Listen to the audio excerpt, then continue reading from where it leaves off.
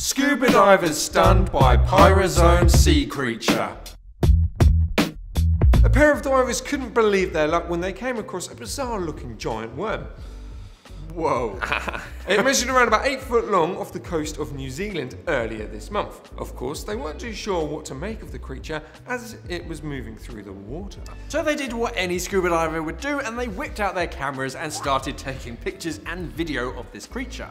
So this worm-like creature is in fact made up of hundreds of thousands of small organisms called zooids uh, and together is known as a pyrosome.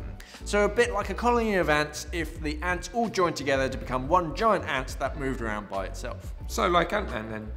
Or you, you, you took out the Batman. I joke. took out that Batman. Oh, reference. okay, okay. I'm going to put a clip. Actually, I can't put a clip in there because it'll get copyright strike. Anyway, the two divers, having never seen a pyrosome, Pyrosome. pyrosome, it looks like pyrosome. Pyrosome. Pyrosome, pyrosome. Anyway, were of course mesmerised by it, and as you can see from the pictures, uh, it managed to uh, grow larger due to the remote waters where they were diving off the coast of Wa- Whakaari. Whakaari.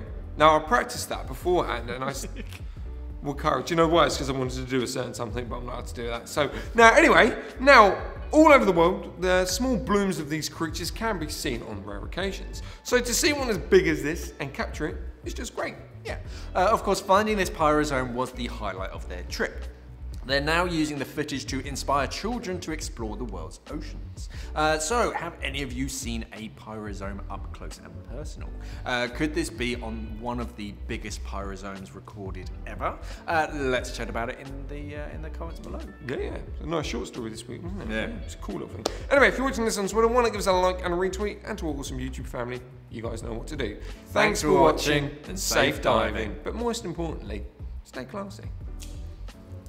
We are an online dive store serving the UK and the world for all your diving equipment needs. So why not visit us at simplyscuba.com or click the box on your screen.